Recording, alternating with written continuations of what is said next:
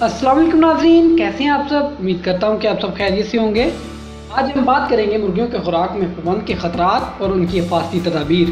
کہ اس کے خطرات کیا ہوتے ہیں اور ان خطرات سے بچنے کے لیے کون سی حفاظتی تدابیر اختیار کرنی چاہیے۔ ناظرین پپند نباتات کا ایسا گروہ ہے جو گلی سڑی اشیاء پر زیادہ حرارت اور نمی کی موجودگی کی وجہ سے پیدا ہوتا ہے۔ موسم کے ان دنوں میں زیادہ حرارت اور نمی کے علاوہ بیشتر اشیاء مثلا بچھالی فیڈ خالی بوریاں، گنے کے ڈبے خوراک کے جھوٹے اور گندے برتن وغیرہ پھپھوندی کی نشو و نما میں مددگار ثابت ہوتے ہیں۔ ناظرین پھپھوند کو پنجابی میں الی کہا جاتا ہے۔ ناظرین، الی کی تقریباً دو لاکھ اقسام دریافت ہو چکی ہیں، جن میں بعض اقسام انسانی خوراک اور ادویات میں بھی استعمال ہوتی ہیں۔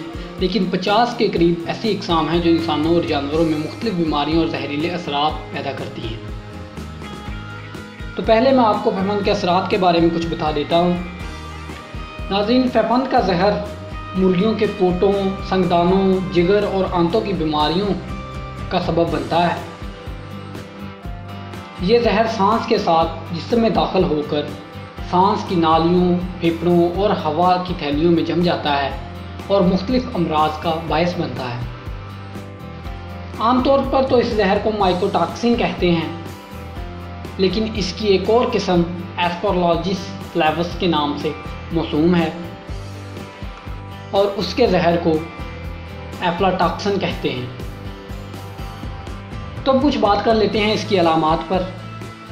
اس کی علامات کچھ ایسے ہوتی ہیں کہ چوزوں اور مرغیوں کے جسمانی وزن میں معمول کے اضافے کی شرح گھٹ جاتی ہے اور انڈوں کا چھلکا کمزور ہو جاتا ہے اور پیداوار میں کمی آنا شروع ہو جاتی ہے۔ پرندوں کی پیاس بہت زیادہ بڑھ جاتی ہے اور زیادہ پانی پینے کی وجہ سے پرندوں کو پتلے دست آنے لگتے ہیں۔ جگر کا رنگ زرد ہو جاتا ہے، اس کی جسامت بڑھ جاتی ہے اور بعض دفعہ خون کے دبے بھی نظر آنے لگتے ہیں۔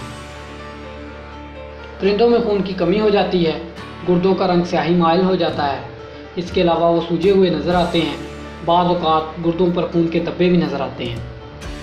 مرغیوں کی کلگی ٹانگوں، آنکھوں، انڈے کی زردی اور گوشت کی قدرتی رنگت بگڑ جاتی ہے۔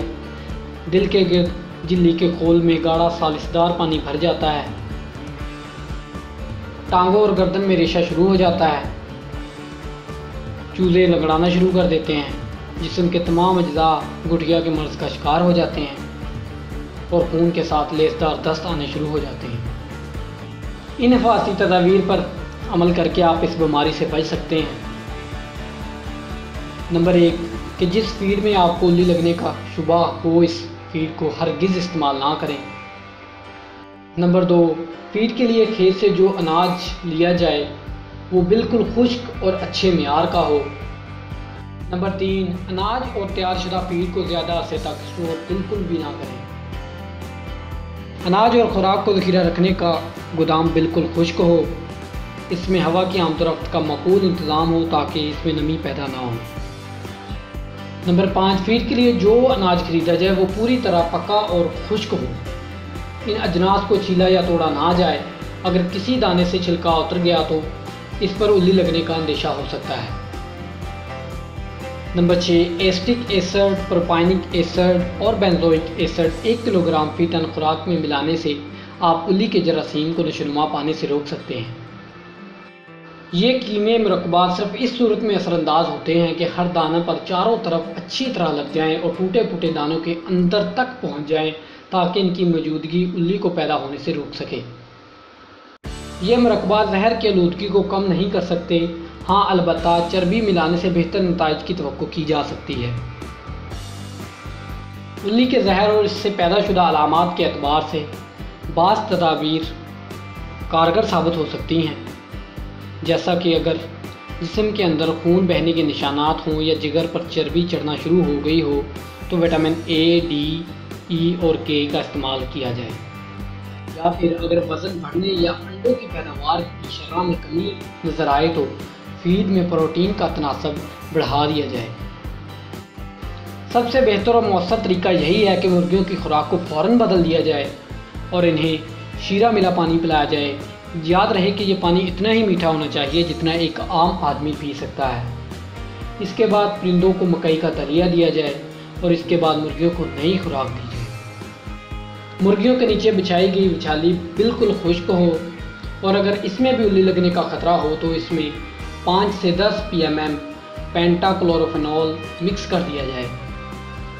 اور بہتر ہے کہ آپ مرغیوں کی خوراک میں بازار سے الی روکنے والی ادویات لے کر مکس کر دیں۔ الی کے زہر سے متاثرہ مرغیوں پر اینٹی بائیوٹک ادویات کا استعمال بالکل بے سود ہوگا، بلکہ یہ ادویات الٹا مرغیوں کے گردوں کو اور زیادہ نقصان پہنچائیں گی۔